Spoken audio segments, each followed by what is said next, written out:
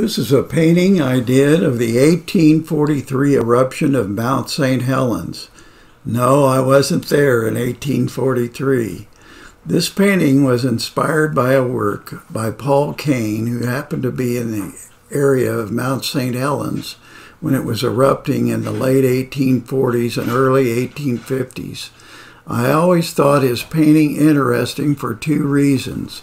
Number one, it was of Mount St. Helens, and number two, it depicts er, an eruption in the exact same spot that broke free on the mountain and slid downward, causing the cataclysmic and deadly eruption of May 18, 1980. Paul Kane was a frontier Canadian artist who loved adventure and the outdoors.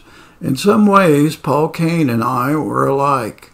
We both like to travel, love the outdoors and adventures, and we like to paint. Paul was a self taught artist. He traveled to Europe with very little money and lived on his wits. He returned to Canada and then traveled west to paint the native peoples in western Canada and the western United States.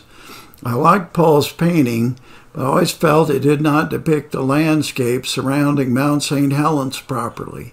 I felt too the lighting was not quite right either. So I gave it a shot, and this is what I came up with.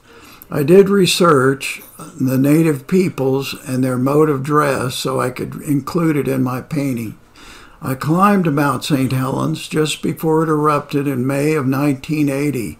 I photographed the crater, the summit, and views from my climb. I'm in a book titled in the Path of Destruction by geologist Richard Waitt. If you are interested, I have video, a video detailing my climb at the end of my list of videos. And, well, that about does it for this tale. I hope you enjoyed it and thank you for watching.